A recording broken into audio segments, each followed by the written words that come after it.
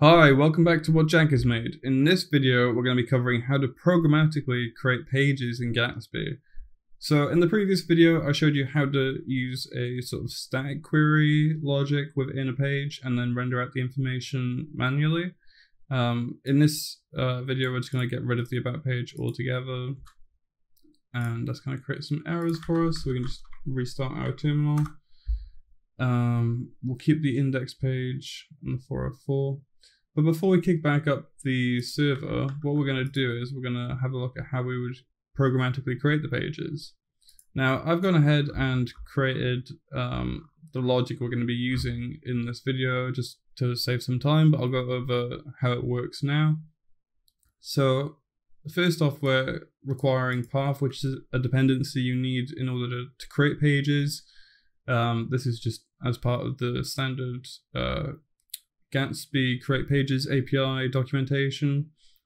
The next part is all custom where we're creating our own media fields sort of, I guess you'd call it a template um, and an SEO fields template. And these are just so that we can reference um, all of these fields and field groups without repeating ourselves. So if we had posts and we wanted to get the SEO for that, and we had pages and we wanted to get the SEO for that, instead of repeating ourselves, we can create our own sort of template cookie cutter, and then just insert um, the template literal string SEO fields within our query, and it just sort of reduces the length of the query that we're creating in our code, um, and makes no difference to the query that's rendered in the end. Um, so it'd be the same as saying copying this and putting it there instead of just referencing SEO fields. And then finally, we're creating the actual query itself. So this looks very familiar to the queries we've been running previously, where we are getting the slug, um, well, we're getting URI, which is similar to a slug, um, the title, featured image um, fields, date, content, categories, um, all related to the posts within our WordPress environment. And then this is where the programmatic part of the Create Pages API comes into play. So Gatsby provides a Create Pages API, which allows us to tap into um, the build runtime sequences um, and processes and run our own custom Create Pages function. So this is an asynchronous function which says to wait until our query returns information and then immediately destructure it as data. I've put return null just for our examples, but I'll remove that now. If no data is returned um, from our WordPress key in our JSON payload, then just don't do anything. But if there is information there, loop over each post, and then for each post, create a page. Now this should look very familiar to um, the syntax I used in the previous video where we mapped over each post and rendered the slug to the page. But this time, instead of rendering a slug to the page, what we're doing is we're creating an actual page. And this would be the same as saying post, get the URI or the slug, and then creating a file under pages. Um, so we could put forward slash post forward slash post URI, which is essentially the slug of the page, and we're specifying it down here as well. And we'll come back to context in a moment, but just note that we're saying this is the path that we want the page to be accessed at, and this is the component we want to pass the context to. So if we go into source components, templates, and post, this is our new um, post template. And essentially what we're doing is all the context that I just mentioned in our node file here gets passed down as a prop under props.page context. And then from there, we're destructuring content and title, which is specified at title, and content is available when we spread the post object from here. And what we're doing is we're saying render the title in a h1 tag. We can get rid of the SEO component. And then we're dangerously setting the inner HTML of an article element to be the content provided by the page context. So this can be a bit confusing right now. Um, I'll console log the page context and the props we get, just so I can visually show you what props we're getting. And if I go ahead and run develop again, now that I've removed the return null, we should generate 100 new pages um, that were previously available to us in our static query. So you can see it's picked up that one of our plugins has changed.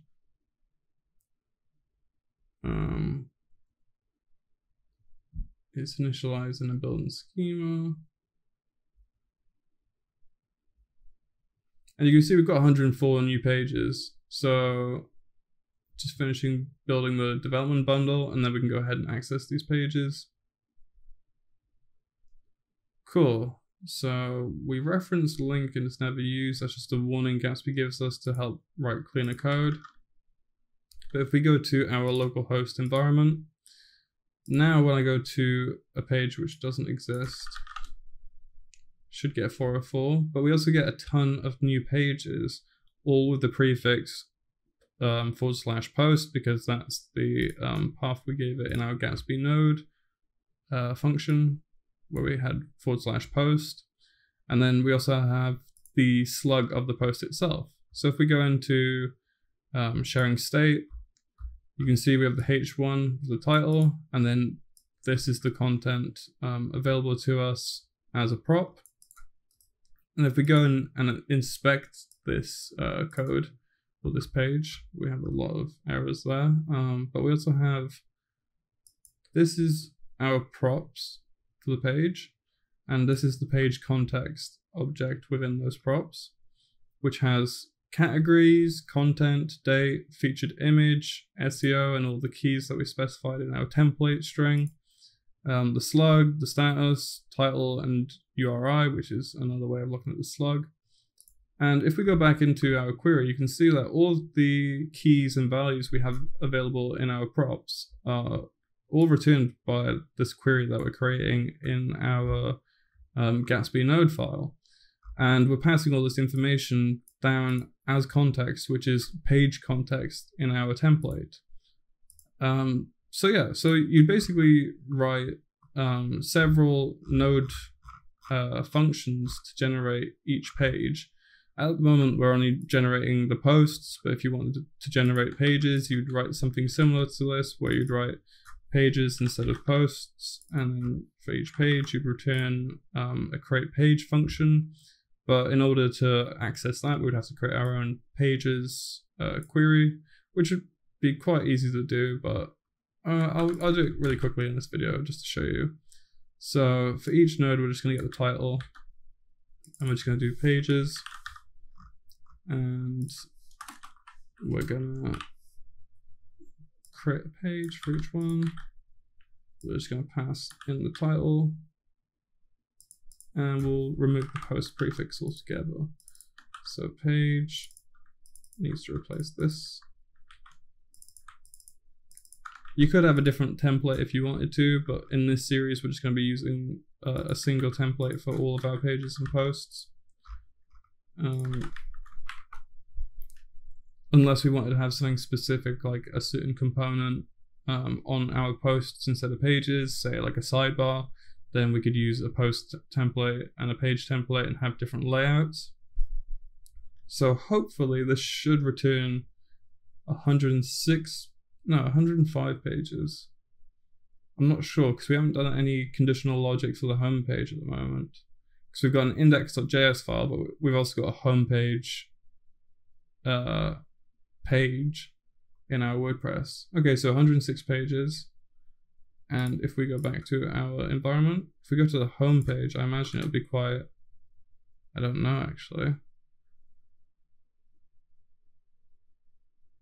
Okay, so that's nothing new. If we go to about, we have the about page. If we go into console, you can see we have the title and the URI, which is passed in by our data.wordpress pages create page function.